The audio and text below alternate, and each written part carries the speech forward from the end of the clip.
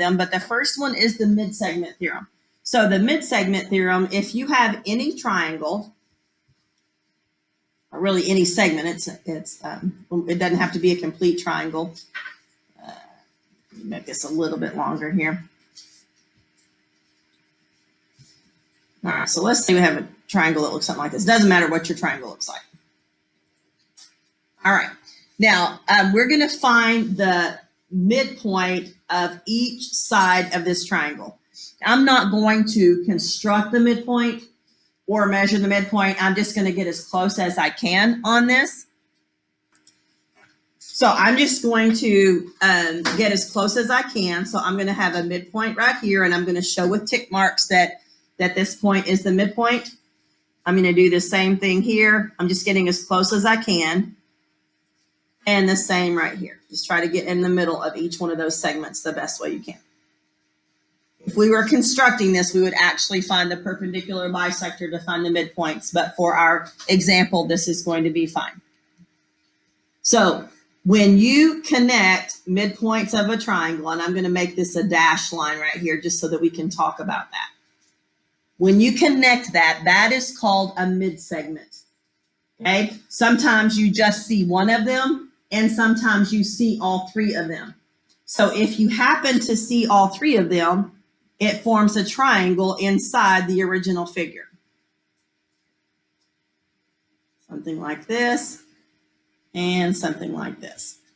So that's called a mid-segment triangle when you construct that.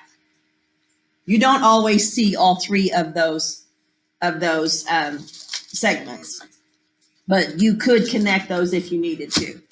Now, when you're looking at this, what this figure does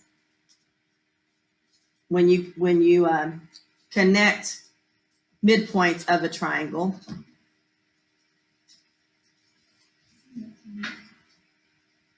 I'm just going to label this triangle with angle measures and side lengths.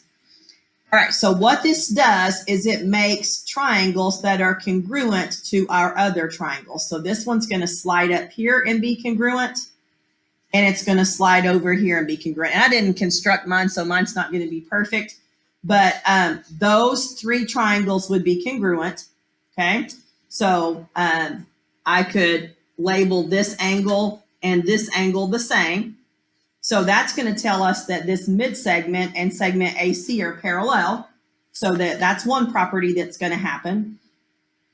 And this segment right here is also going to have two of the uh, tick marks. Same way here. This is going to have the same angle measure. You can measure all, uh, label all of the angles if you want to, but this is going to have one tick mark. And then if you um, if you rotate that figure, then you're going to have uh, this congruent triangle as well. Okay. So this is going to have three, three tick marks.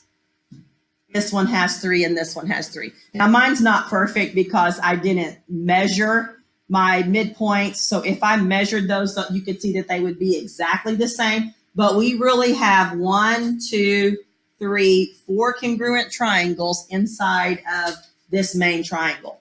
So most of the time, the way that you use this, and again, my drawing is not going to be to scale, but let's say that this is two units and this is two units. Then this value right here that has one tick mark is also going to be two units. If this is five units here and this is five units here, then when we slide this up, this segment right here is also going to be five units. And I don't know, I'm gonna let this be maybe four. I'm gonna let this be four units right here. So if this is four units, um, I covered up one of those tick marks. This one has three. So it slides over here and this value and this value would also be four.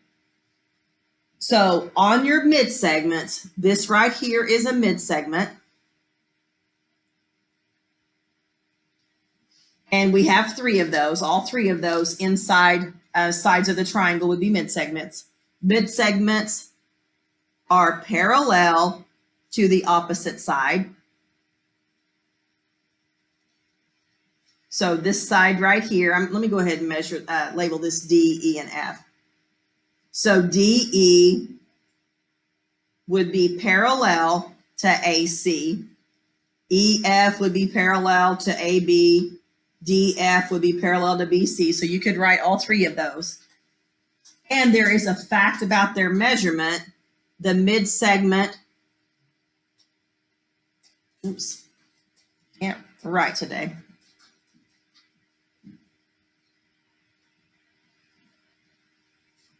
Is half the length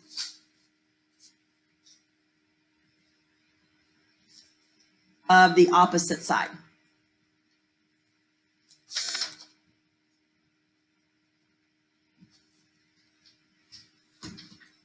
All right, so on this one right here, if you look, this entire length is 10 and the mid segment is 5, so it's half of this.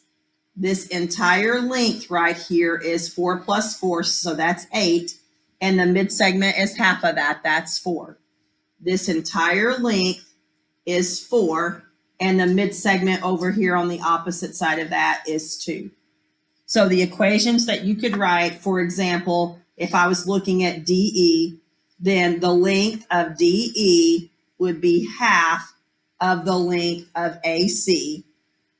Or you could say that two of the little ones, two of the lengths of DE would equal the entire length of AC. Both of those equations are true. And you could write those same types of equations for, um, for any of the sides of this triangle.